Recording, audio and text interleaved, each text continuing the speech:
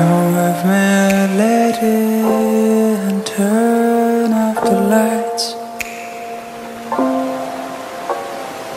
This is the moment make right.